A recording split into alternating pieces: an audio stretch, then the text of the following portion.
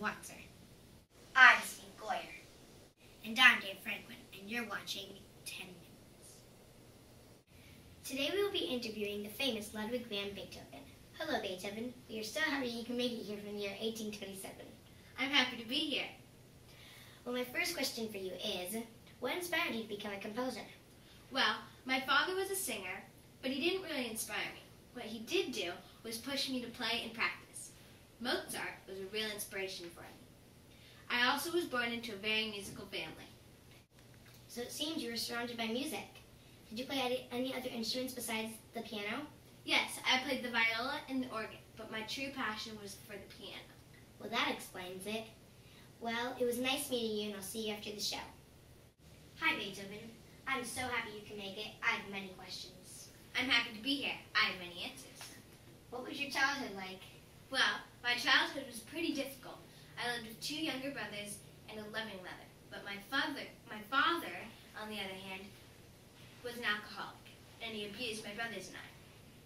He'd wake me up in the in the middle of the night just for me to have a piano lesson. So it seems you had a pretty rough childhood.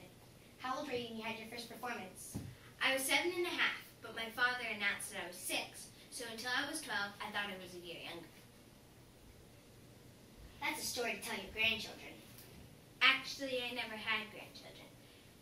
I never even got married. Whenever I asked a woman to marry me, they always turned me down.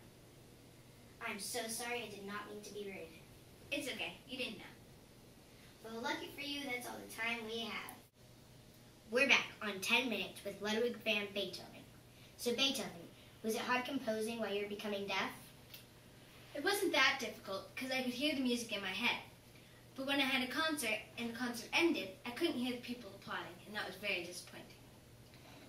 Was your loss of hearing, did your loss of hearing affect your love for music? For a period of time it did, but I decided I shouldn't give up because I loved music for so long and I loved to compose that I didn't want to lose that. So I understand that you were a dedicated man. Can you maybe play us one of your famous symphonies? Sure, why not?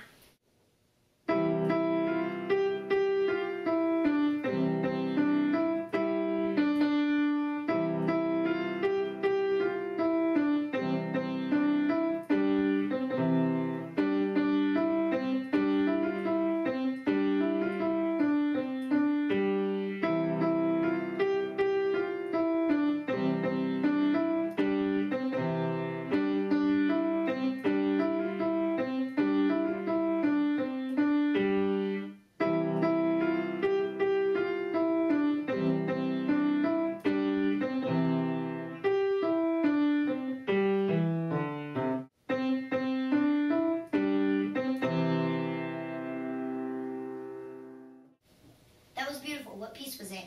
That was my Ninth Symphony, or Ode to Joy. Well, it was great having you on the show, and I hope you had a good time. Thank you for inviting me. I had so much fun. Thank you for watching, and we'll see you next time on 10 Minutes. Once again, I'm Lisa Watson.